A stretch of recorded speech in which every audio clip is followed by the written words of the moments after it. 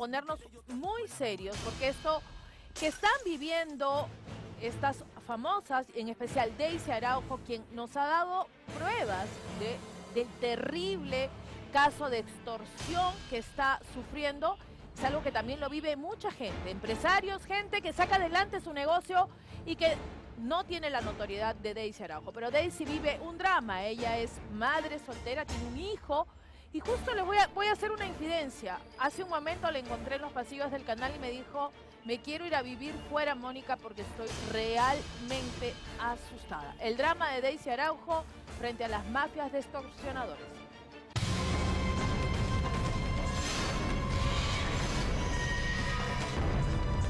...45 casos de extorsión al día... ...cerca de 1.398 denuncias al mes... Números de terror que solo confirman lo que ya sabíamos. La extorsión en nuestro país no tiene control. Nos tienen amenazados. Queremos justicia, queremos que nos ayude la prensa. ¿Cuánto era el cobro del cupo? Tres mil soles por terreno nos querían cobrar. Este delito lleno de amenazas viene golpeando a vecinos y emprendedores, y más recientemente a los artistas y figuras del espectáculo de nuestro país. te, vamos, te voy a meter una granada ahí en tu, en tu vaina, dicen, ¿no? Entonces, eh, la vaina se, se está refiriendo pues este, al, restaurante, ¿no? La extorsión parece tener un mismo modus operandi. Estos delincuentes recopilan información básica de la persona, escriben a su número personal, envían videos amenazantes al WhatsApp y piden dinero. Te voy a decir algo, acá no llega la ya, así corras a los rayas, apegues a los bandidos, acá no llega el porque los promos van a ir para tu cabeza. A poco les importa la economía de sus víctimas. Al humilde cantante Pajarito lo siguen persiguiendo por 10 mil soles. Llegó la, el mensaje de texto, las llamadas continuamente eh, amenazantes, la vida de mis hijos, la vida de mi familia, que van a ir a mi trabajo, que no me van a dejar trabajar, que me van a disparar, que me están siguiendo. Y ya mis hijos tampoco no están yendo al colegio, tengo cuatro niños menores, ya no están yendo al colegio y, la verdad me siento bastante consternado. Yo soy el, como dice, el sustento para ellos. Yo soy todo para ellos. Si yo no trabajo, ¿de dónde comen mis hijos, señorita? Y yo quiero que... Yo no soy una persona pudiente y trabajo en, lo poco que pueda hacer, señorita. A Monique Pardo la viven amenazando por la irrisoria cifra de hasta un millón de dólares. Pues me van a volar mi casa con una granada. Me están pidiendo que pague lo que debo. Yo no le debo a nadie nada. ¿Cómo tienes mi número? Sí, me lo dio. ¿A ella te dijo que me mataras? Sí. Para después de sembrar el miedo, abaratar esa solicitud. Dame, dame mil nomás y no te, no te hago nada. Este caso de extorsión a famosos no es reciente. Uno de los hechos más sonados ocurrió en el Callao hace más de un año, cuando la salsera Brunella Torpoco recibió amenazas contundentes y llenas de maldad contra ella y su madre. Yo estaba con mi pareja aquí afuera, ha sido siete balas, dos han impactado a mi carro. Eh, pensamos que había sido el aire, ¿no? Eh, pero no, han parado contra mi camioneta. Temor por mi familia. Y hoy, una nueva página se suma a este archivo de extorsión. Daisy Araujo recibió amenazas contra ella y su familia. Aproximadamente a las 10 de la noche llega un familiar, encuentran una carta abajo, ¿no? un papel donde me piden, me exigen 50 mil soles y me dan 12 horas para poder cumplir con lo que me están pidiendo. ¿no? La extorsión con ella ha sido escalonada y después de la carta pasaron directo a su número celular. Busca dar una solución. No estamos para tus shows de estar grabando llamada. Solo dime, ¿piensa solucionar o procedemos nada más? Me da miedo salir a la calle, me da miedo mi hijo, me da miedo que mi sobrino, mi madre, que salen al mercado, ¿no? Sobre todo, supongo, tienes miedo que le hagan daño a tu hijo. Exacto. Sin embargo, la bailarina ha perdido el miedo a denunciar y no va a parar hasta que esta situación se solucione. ¿Vas a parar con esto? ¿Vas a continuar hasta el final? Sí, de hecho, de eso se trata, de que den con los responsables, porque no es justo que una mujer, madre de familia, que se saca el ancho para sacar adelante a su hijo o a su madre, a su familia, ¿no? Le, le extorsionen de esta manera porque no te dan tranquilidad, porque no tienes tranquilidad.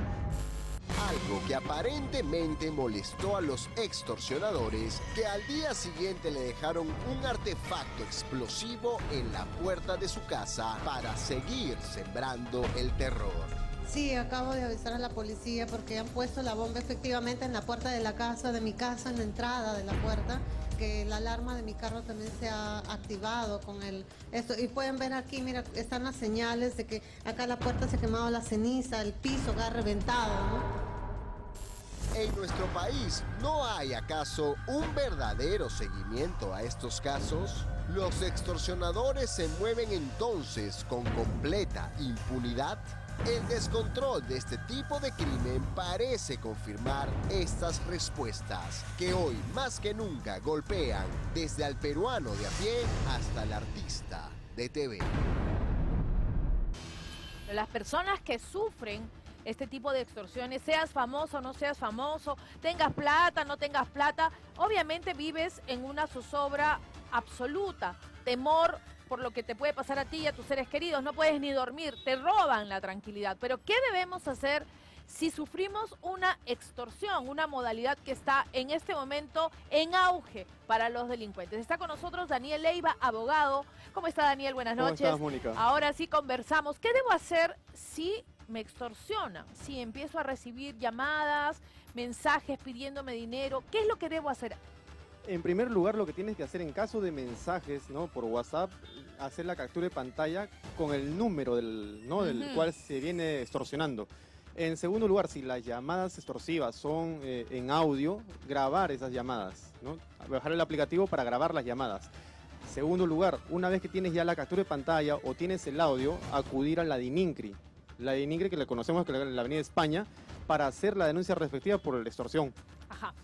Eh, en el caso de Daisy y de otras personas, pueden recibir, incluso han recibido videos con pistolas, eh, rastrillaje de armas, te dicen tu nombre, saltan las balas. ¿Eso también cuenta para llevar a la DINCRI como una prueba de que te están extorsionando, Por que te están amenazando de muerte? todas las imágenes, capturas de pantalla, llamadas se tienen que grabar. Ahora, como una recomendación para las que vienen siendo víctimas de extorsión es cambiar de domicilio, cambiar su rutina, no exponerse mucho a la, a la calle. Doctor, yo entiendo que eso es lo ideal. Si pudiéramos cambiarnos de país, sería ideal. Pero, mil disculpas, el, el claxon de esta hora aquí en plena avenida Arequipa, pero a veces es difícil. Uno, porque de repente no tienes dónde ir, no tienes el dinero, y es también como de un momento a otro tienes que dejar todo. ¿Qué otra recomendación y qué es lo que debe hacer la DININCRI o la DININCRI si es que yo voy y digo que me están extorsionando? Claro, la DININCRI tiene un equipo especializado para poder captar eh, de dónde vienen estas llamadas extorsivas. Es decir, tienen ya equipos sofisticados en la cual pueden ubicar ¿no? la localización exacta para poder llegar a esas llamadas. Es más, nosotros deberíamos promover de que, no, con apoyo de la policía ya de la DININCRI, ellos te dicen, sabes que ya que llamen, que recibas la llamada y que tú estés presente al momento que, no, con la policía para que hagan la captura de dónde es el lugar, ubicación exacta de, de las llamadas extorsivas. Eh, Es muy complicado para quienes pasan por estos momentos porque incluso les dejan granadas. A Daisy le han dejado una bomba molotov en su casa. Eh, eh, eh, es una cuestión que asusta a cualquiera. La pregunta viene, ¿estos extorsionadores realmente te van a hacer daño, te pueden secuestrar o es una forma, obviamente ilegal, de asustar a la gente para obtener dinero? La mayoría de casos sí eh, se cumplen con estas extorsiones, ¿no? Lo estamos viendo creo que en las noticias a Hemos diario. visto que- varios secuestros. que es cierto, secuestran eh, o mandan granadas al domicilio o pasan disparando, ¿no? Eh, no deberían esperar a que se cumpla la, la amenaza, ¿no? Generalmente se expone la vida de una persona. Lo principal que quiero acotar es de que no deben callar. Las personas que son víctimas de extorsión, sí denunciar y no quedar callados o pagar, porque tú pagas un monto X y pasa un mes, dos meses y te siguen extorsionando. Esa es una, una cadena, nunca va a parar. Complicada situación y me quedo con sus palabras, nunca va a parar y creo que es momento de que la Policía Nacional, en la que confío muchísimo, tome cartas en el asunto y pueda desarticular esta cantidad de mafias, de extorsionadores que le quitan la tranquilidad y les quita la paz, el dinero y en muchos casos pone en riesgo la vida de, las de los ciudadanos, de gente común, de gente que emprende, de gente que tiene su negocio y que con mucho esfuerzo gana su dinero. Daniel, no te vayas, por favor, porque No. tenemos otro tema del que necesitamos también tu opinión como abogado. ¿Qué sucederá en el caso Magali Medina y la ya anunciada sentencia que se le da el próximo miércoles por el caso de Jefferson Farfán? No me digas mucho ahora, vamos con eso más adelante, pero está